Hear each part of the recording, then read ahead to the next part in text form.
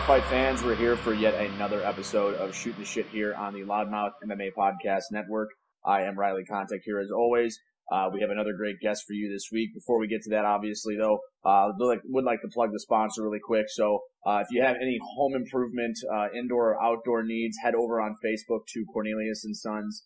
Uh, like I said, I use them for my house, uh, housing needs all the time. Um, I'm pretty worthless when it comes to home construction, home improvement projects. So again, head to Facebook. Again, that is Cornelius and Sons. ask for Raul.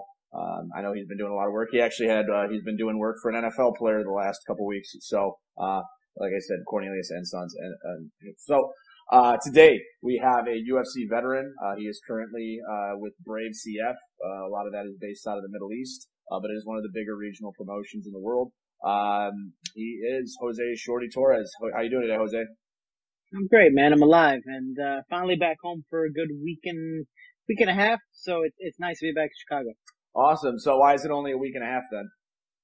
Um, my manager actually has a fight coming up soon. He's 49 years old. UFC Fight Pass want to do something special with him, and he's like, hey, "Man, I've been in this sport for so many years, but I've never actually competed. Um, you know, I've managed fighters. I've uh, own I own a fight promotion. I always train. Why not finally actually get the competition at 49 years old? He's gonna do it once in his life, and and UFC's doing like a nice little leading up to and a documentary. So I'll be down in Atlanta next week um, training him for a week and then hopefully down in Florida getting ready for my fight, my rematch. Awesome. And I obviously, I know you're alluding to uh, Lex McMahon there, the uh, Titan FC head. Yes, sir. He's uh, he's a good guy, man. He's managed me for pretty much my entire uh, MMA professional career. At least when I got to the UFC, it was a little bit of a con- conflict of interest in Titan FC, but um, you know, he did get me the proper fights that would showcase my skill, but also give me the challenge to keep on bumping up. And I'm at where I'm at today because of him. Awesome. Yeah, and like I said, you know, like I said, you have, like you said, Lex has been in the sport a long time, so it'll be interesting. Now, uh, just to touch on that really quickly, how much experience does he have? Has, has he, does he have a Brazilian Jiu-Jitsu background or anything like that? I know he manages fighters, but how long has he been training? Um, you know, the, the typical person usually does train just stand up. Um, Jiu-Jitsu is what he's been getting into for the past year, and he's, he's getting a lot better. And you know, for being in the sport for so long, you start to, especially watching it so much, you naturally start to catch on a little quicker than the average person. But he's, you know, 49 years old. It's, it's hard to teach an old dog new tricks, but he's catching on really, really fast. And doing this, it's funny because usually he's picking on me during my training camp. Now I finally get to go back, be fat and happy and pick on him. And, um, you know, I'm excited to put him through some pain because again, it is very, very different tides have turned and he's going to be exhausted. He's going to be cranky. He's going to be this and that. So it's nice to have someone who's finally going to, be able to understand the full training camp sense, not just the fight, but everything behind the scenes. And again, you know, Lex, Lex, you know, is a Marine. He's just one of those guys that loves to work hard. So being in this, you know, thing is going to make him feel like home, you know, make it feel like it's, he's back at home, but it's the fact of, now it's a little different. Now you understand fully how it is to be a professional MMA fighter, and it gets extremely strenuous. So I'm excited to see how he handles it. Yeah, now, and you may not be in the know on this, but will Lex be headlining that card, or will he be taking a feature spot? Um, I'm not 100% sure. I'm pretty confident though that he will be the main event because UFC Fight Pass is again doing this whole story on it, highlighting it. Um, and I believe uh, it's it's not through Titan FC, it's through a different promotion. I believe in the Dominican Republic, but I mean, overall, man, it's if when you have camera crews and all that stuff as big as UFC Fight Pass coming in, I would be pretty confident he would be the main event. For sure. Now, you had said before we get into your uh, your most recent fight and obviously your next fight. Uh, now, you grew up in the Chicago area. We have a lot. Most of our viewers here are from Illinois. Uh, so just kind of give us the background. Where did you grow up? Where did you go to high school? And then what are you doing now? And where do you live in Chicago? What do you do? Yeah, so I grew up in the McKinley Park neighborhood. Pretty much been there I think since I was 10 years old, went to Green Elementary School over there. And then eventually my, my parents split. So I moved to Berwyn for about a year and I went to Cicero. My parents got back together and I've been in Cicero ever since. You know, so literally right at the borderline of Chicago. I'm not one of those guys that say I'm from Chicago and then I don't know where you look at their license, they're from like Arlington Heights That's or me. Kankakee. yeah, there you go. You know, so it's, it's one of those things that, you know, I was born and raised in Chicago and it's, it's, you know, it's my, it's my upbringing. My dad was, uh, he was one of the, the gangs in Chicago that represented not just the gang, but, you know, his, his legacy. My dad did pass away last year, so my last fight was an homage to him. I wore one of those sweaters back in like the 70s and 80s where the gangs used to wear, and that was the war sweater, you know, like you don't, you didn't approach those people. I don't know if you ever seen, uh, the Warriors back in the day where it's like, you know, you have all these different groups walking around with just, you know, their jackets, whether it's leather, cotton, wool, whatever the case may be. And, uh, it's funny, somebody on IG recognized it. They're like, is that a Harrison Judd sweater? Dude, that's, that's old school. That's, that's like, that's a classic. You know, it's a thing that you never wash. You just hang up and, uh, I might have to watch it a little bit for after this fight with all the sweat. But man, it's, it's, um, you know, I've been in Chicago all my life. My mom is, you know, born in Mexico, dad born in Puerto Rico, and eventually came in Chicago, met there, and you know, born in Illinois Masonic in the North Side, so I'm a Cubs fan. Ah. Uh, always, always raised in the South though, so I was always, always getting beat up by the by the Sox fans. That's I was right. always bullied. I was the only only Cub fan in my family, still am. But um, man, you know, been in Cicero ever since. You know, was able to do martial arts through the the park districts. And eventually joined Combat in Cicero, and ever since then, man, I've been able to, uh, because of fighting, get out of the neighborhood. You know, it's especially in the city of Chicago. If you're growing up Latino, black, usually a minority, it, it you know, we're in the neighborhoods of poverty. McKinley Park isn't the richest neighborhood in the world. I actually went back to my old house the other day, and you know, we have the police camera on the corner. I'm like, man, this neighborhood's just getting worse. You know, so it's um, the upbringing is different, but man, I always say, you know, if I can make it out of Chicago, anybody can make it out of Chicago. You know, so um, especially with the upbringing of growing up in a trap house and all that stuff. So it's it's just one of those things, man, that, uh, it, it is, is, I always compare Chicago to, uh, Gotham. You know, Chicago is probably the closest thing to Gotham City. And if you can make it out of Gotham, man, you're, you're gonna make it somewhere. And for me, it's, I've been traveling all over the world, but I train right now and I'm traveling soon to Florida. a lot of fun out there, man. It's definitely a different environment. And I was actually gonna make a post today on Twitter. I'm actually gonna make it right after this it's it's weird because I go for runs all the time and go for a run in Florida, beautiful weather, run outside. Everyone forcefully says hello, especially by my manager's neighborhood. It's all it's all beautiful houses, you know. So I'm running. I'm like, man, this is awesome. Nice place, nice people. Everyone literally like, hello, hi, hello, and like you need to say hello back. That's just the how genuine people are. Like they want to say hello, but they're also super nosy. Here, dude, I'm running down the block and I've gotten used to saying hello to people. So I'll look at someone, I'm like, hey, how you doing? And people just like look up and down. They mean mug me. You can tell they're judging me. And I'm just like, damn, dude. I'm like, oh yeah, I forgot I'm in Chicago. So, like everyone mean mugs you, judge you. Like they all mean well. They're all nice. It's just something you don't do here, you know? Like yeah. everyone's super nice, but they're going to judge you, complain, and mean mug, uh, mean mug you the entire time. Yeah, it's funny that you said Chicago's like Gotham. I mean, all of the Christopher Nolan Batman movies were actually filmed in Chicago, uh, including yeah. The Dark Knight. So, I mean, yeah, I mean, that's, it's as close as it gets because, I mean, that's what it was in the movies too. Um, now, this is kind of a two-part question because I know that you've spent time at ATT in Florida. Uh, obviously you live in Chicago. Uh, and if I'm not mistaken, Combat Dojo Pro, Pro Gonzalez used to train there as well, if yeah. I'm not mistaken. So, uh, when you're in Chicago, what do you miss most about when you're in Florida? And when you're in Florida, what do you miss most about Chicago? There's, there's two reasons why I leave the city. And, and probably the two biggest reasons. Just two? One, yeah, just two. I mean, there's definitely more, but the, the two biggest reasons, one is my father always used to tell me, get out of the neighborhood, get out of the neighborhood, get out of the city of Chicago, go train somewhere else. As much as you love, you know, representing your home, go represent it somewhere else. And that's what I do. I mean, my dad understood that there are gangs, there's violence. You know, we used to have cameras in front. People have broken our windows. People have, you know, burnt up our cars in flames, you know. So again, growing up with the upbringing I have, my dad had an understandable reasoning to be like, dude, get the hell out of the neighborhood. It's dangerous. And, you know, quick story is, uh, we had a fighter named Ed Brown from Chicago four years ago, maybe five years ago. Uh, was a boxer. Our team was called TBT, the broke team. We didn't call each other the money team. It was the broke team. All boxers. Nine, 19 and 0, about to make a Showtime boxing debut. And, uh, he, he ends up getting shot four times in, in the neighborhood of Garfield Park, you know, so it's one of those things that he should have got out of the neighborhood. And after that, literally, we all split up, you know, so for me, that's one of my bigger reasons just to be safe. And then two is, man, I can't, I can't do my training camp here. There's too much food.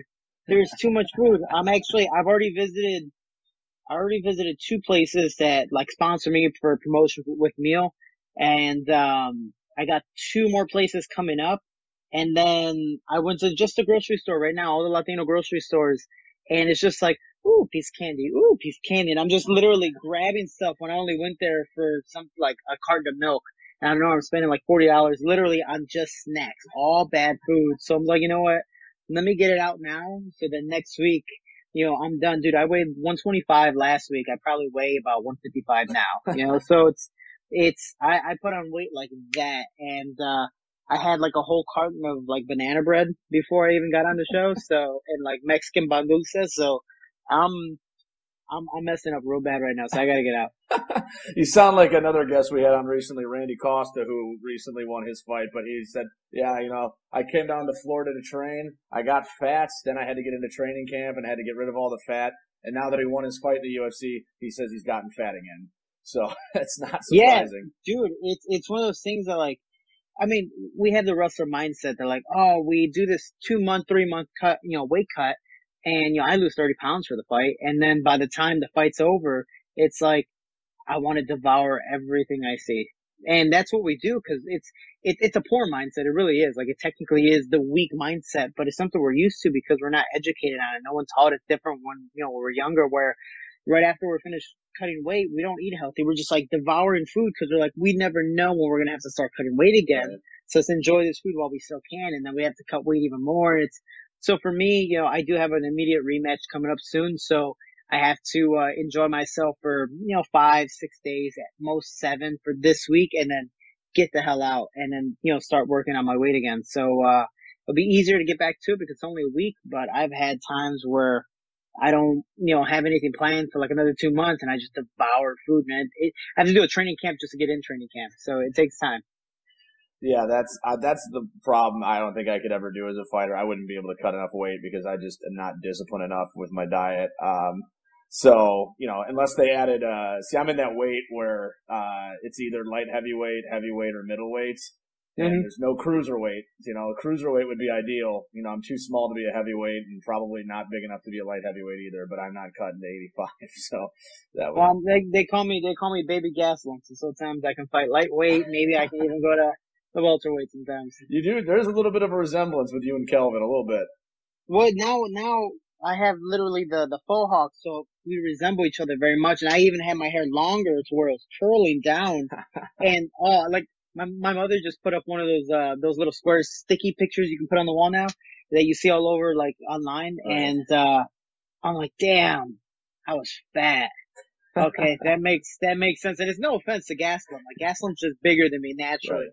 But I'm just like, damn, alright, that makes sense. I can't even, I can't even deny it, you know? So it's, it's crazy that when I'm fat, I look like Kelvin Gastelum. When I'm skinny, for some reason, my beard goes a little ginger and I get like the emaciated look a little bit. So I look like Conor McGregor and I'm just like, I just want to look like me. That's all I want to do. Yeah. You just want to be your own brand at one point. Um, so now you had mentioned uh, your your uh, fight with Brave CF over the weekend. I will admit I did not see it. I uh, I was watching about three other different promotions at the time. Um, so just kind of break down how the fight, how you think the fight wins. Obviously, it went to a draw, so there was no winner. I believe it was in that Brave uh, flyweight tournament.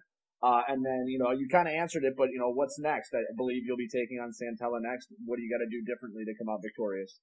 Yo, my and Dean Thomas told me, and, and I knew what I needed to do. But with a year and four month layoff, more because of mentality than, than physicality, um, you know, mental injury is a huge thing. That's why I've been preaching a lot of mental health stuff in my, my posts and all that. But going in there, man, I was so anxious. It was just self sabotage. It was more of like, everything's going perfect for this camp. What if I mess it up? You know, so it's, it's literally that the entire time. And I usually start slow and I knew he was going to try to take advantage of it. And so the first round, I'm like, whatever. He ended up going, I can't remember the actual drop, but it's pretty much like a heel hook. And, um, it's, it's setting up, it's like a, a knee sweep to a heel hook.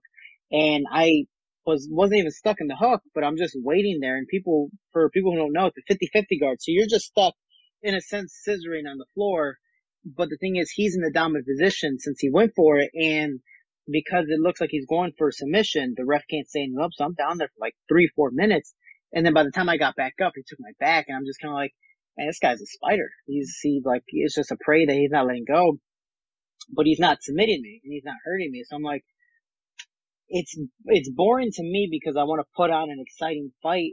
But when you look at it, when it comes to the technical BJJ standpoint, like his skills beyond you know what I even expected. And I've rolled with him before, and I'm like, man, this guy's 35, getting older, and he's getting better. You know, so I'm just like, okay, this guy's good. I know what to do in the second round. The second round, he goes for a shot. I just start um, just throwing hands like uh, it was like he shot in, sprawled, and I'm just punching, punching, punching, and I literally made the smallest mistake in not thinking about he was gonna swim move and take my back, and uh, I got too into the punch, and he swam, you know, he swam his arm out, took my back, and I'm like, damn it, like okay, like I gotta get out, but he was so elusive and always trying to go for submission that it was either I'm playing defense or trying to get out, playing defense, trying to get out. So it took me a good three minutes to get out. By the time I got out, I already lost the round, no matter what I would have done unless I knocked him out.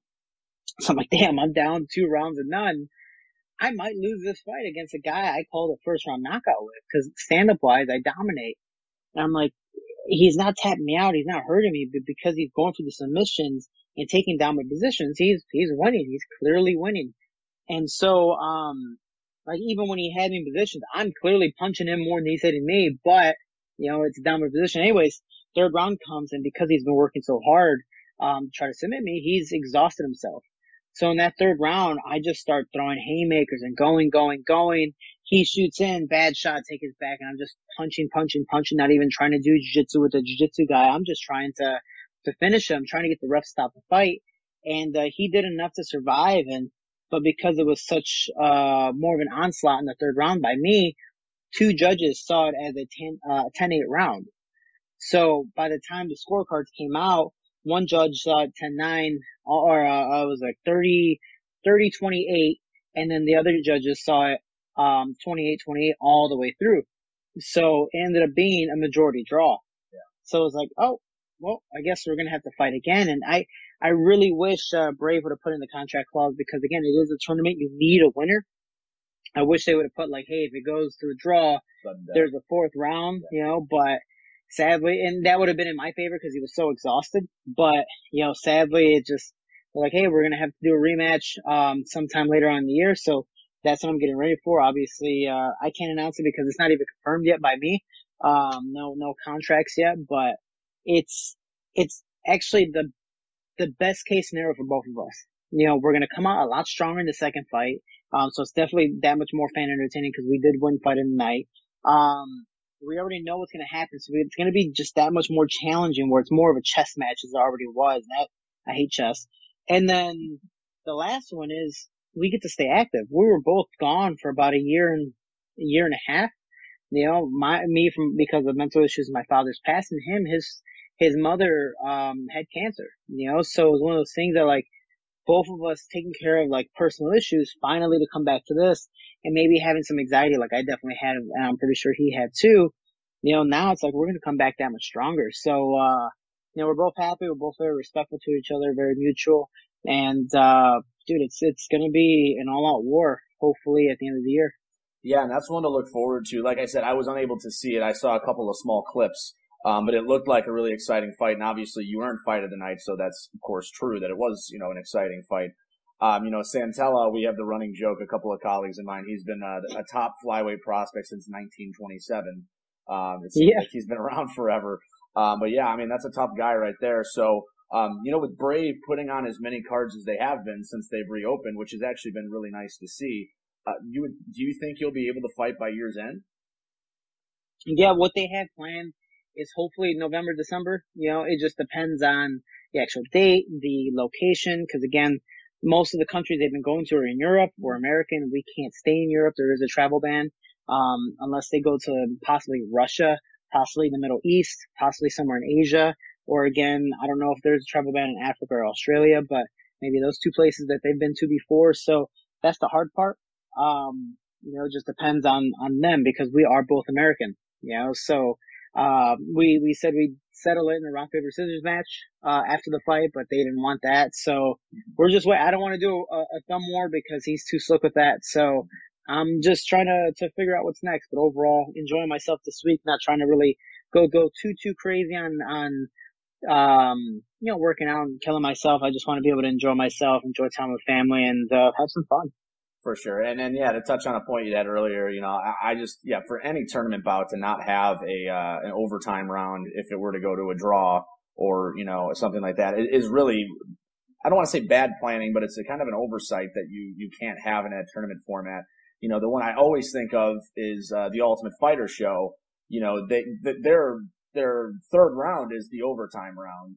But as far as I think it happened once in the show, um, if it went to a third round and it was a draw, they did go end up going to a fourth round. So yeah, that's unfortunate, unfortunate planning, but not always something you think of right off the top of your head when uh, when you're planning these things out. So uh, we will definitely look forward to hearing that uh, fight announcement from you against Sean Santella again. I will definitely be queuing in. Hopefully, there's not a bunch of uh, fights happening that morning, so I can actually watch that one and not have three different screens going. So yeah. that there was a lot of stuff on that morning, and that's a good that's a good sign that shows MMA is back. Um, so uh, let's get to the UFC event this weekend. Uh, first off, not the greatest card they've offered. I'm actually surprised it's an ESPN mainstream card instead of an ESPN Plus card, given the lack of name on there. The two biggest fights are women's fights, and the second one isn't even the co-main event, which is kind of weird. And then you have a guy like Carlos Condit who's on the preliminary card. When why wouldn't he be on the main card? Uh, but we'll just talk about the main event.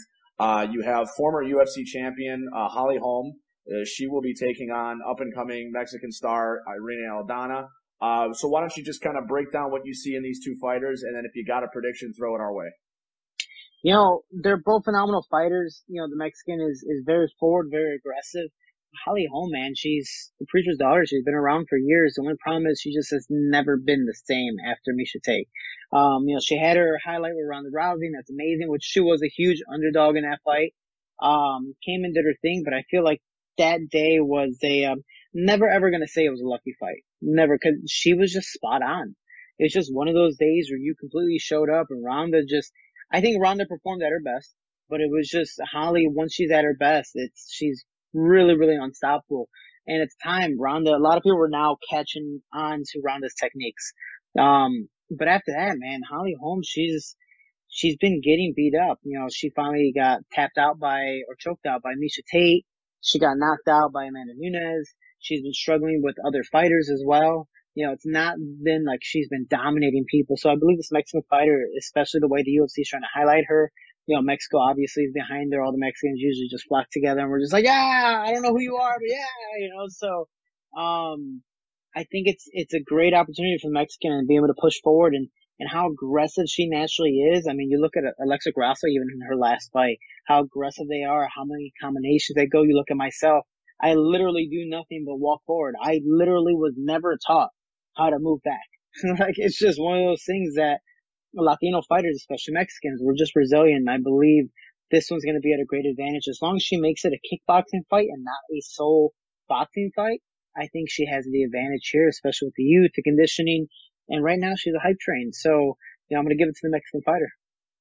Oh, so you're going to take Aldana over Holm in this one. Interesting, interesting. I mean, I think this definitely is most likely going to be a glorified kickboxing match. I don't see too much grappling coming here unless you know, Holm wants to try. I mean, Holm actually has underrated wrestling. I think it's because she's so physically, you know, physically strong.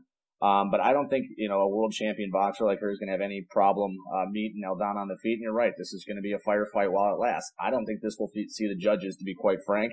I'm going to go the opposite with you. I will take Holly Holm here. I think that her striking is on another level. But, uh, you know, like I said, Aldana is somebody that I like because of her style and someone, like I said, you know, the UFC likes to market into Mexico. She's somebody that you could definitely market there. Um, and you know, without you know the Cain Velasquez's of the world, you know, who who is that face you market there? Obviously, Yair Rodriguez is one of them, but you need more than one, uh, in my opinion, to market into that that you know the entire country. But uh, it's funny when you said uh, that um, you know when when the Mexican fighters all we all band together. I thought of an old. I I, I hate Carlos Mencia because I think he's a terrible comedian, but he had a great joke that was similar. He said, um, when a, a Puerto Rican or a Mexican boxer goes against an American boxer, you know, we'll go from, you know, fighting with each other like, oh, we're together tonight, but then tomorrow they go back to not yeah. liking each other. so was, honestly, that's usually how it is. But in boxing, you know, Mexico versus Puerto Rico again, De La Hoya versus Trinidad, you know, Canelo or, uh, Canelo versus anyone, Cotto versus anyone, you know, it's just one of those things that like, I don't know where it becomes one-sided or it's just Mexico versus Puerto Rico and it's just clashing all the time. But man, you know, one thing I can't, I can't give the Holly Holm is when she's facing a very experienced striker, you look at one huge advantage. She does have the wrestling. And you look at her fight against Megan Anderson. Megan Anderson is nowhere near the striker as Holly Holm. But man, she could crack. You know, in that, in that fight, Holly's like, ah, you know what, I'm gonna take you down. And that whole fight, she took her down, just held her down. She didn't do any, she didn't do much, but she held her down and won the fight because of it. So, you know, can the Mexican fighter, you know, uh, have some scrambling ability on the ground as well? Cause I believe that's what she's going to need. Cause I, I do see Holly trying to take this fight down to the ground using the boxing, maybe throwing a head kick here and there, and then trying to go for, uh, takedowns and solidify the fight there. But, you know, I believe the Mexican fighter's prepared for everything. Yeah, and that's a good point. And I believe that that Holm Anderson fight, I was at that fight. I can't remember. I had a few too many of these, but that was the fight in Chicago that I, I believe uh-huh. I was there for. And, uh, yeah, um, I, I agree. Like I mentioned before, I think Holm's under wrestling is actually underrated now. And like kind of what you were saying in terms of her activity from the top position, you know, she ain't going to be, you know, confused for Royce Gracie anytime soon mm-hmm. in terms of activity. Um, but it's effective and she's physically strong and she's very good at not letting people get back up because she is so physically strong. So you know, she might do that to seal rounds. She might use it at the end of the round if she doesn't. She could she could kickbox for four minutes and then just get the wrestling takedown, you know, to to to cinch the round, and then you know, or or if she, if she gets tagged by Aldana, who has a lot of power, she could do that as a as a failsafe. Mm-hmm. So all right, so we have uh, we have contradicting though. I'm taking Holm, you're taking Aldana. Uh, no big deal. Uh, we'll we'll say the uh, the winner gets Portillo's when you're allowed to uh, to actually eat again uh, when it's all said and done. So, Jose, we want to thank you so much for coming on the show. It's been awesome having you here. It's always nice to have a, um, a local fighter on here since a lot of our audience is localized. Uh, before I let you go, feel free to plug yourself, pour yourself away. Uh, where can we find you? Would you anybody else you want to thank? Uh, man, yeah, I definitely thank all my sponsors and everyone who helped me out in this fight. I wouldn't be where I'm at today for, you know, weren't for everyone's help. And that's why I always do say we can, we will together. We are Team Shorty. And it brings me to my next topic, which I do have my own foundation called the Team Shorty Foundation. You know, you follow that on all social media platforms. And all I'm doing is everything on my website, teamshorty.com. 100% of the proceeds go to my foundation to help kids, teens, and young adults inside the gym and off the streets.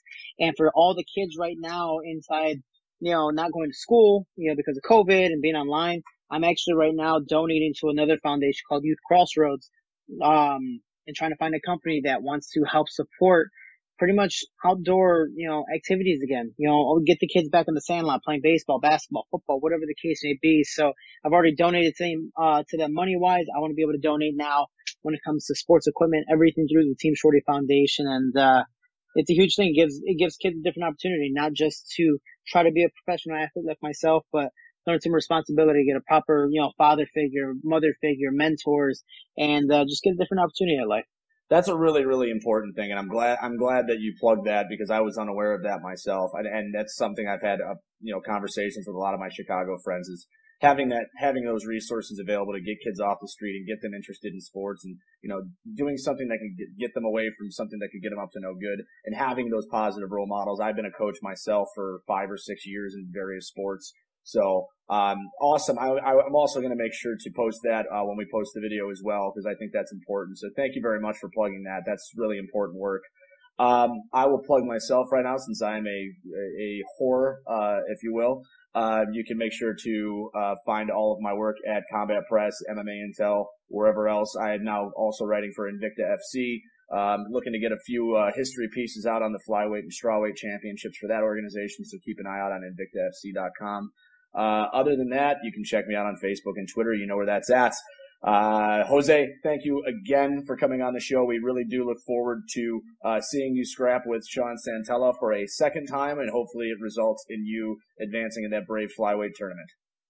Fingers crossed, man. I appreciate your time. Take care of yourself. You too. All right. So for Jose Torres, I am Riley Kontek saying continue to watch the fights, continue to watch the fight, the show. I can't even get my own outro out. Go fuck yourselves. Have a good night.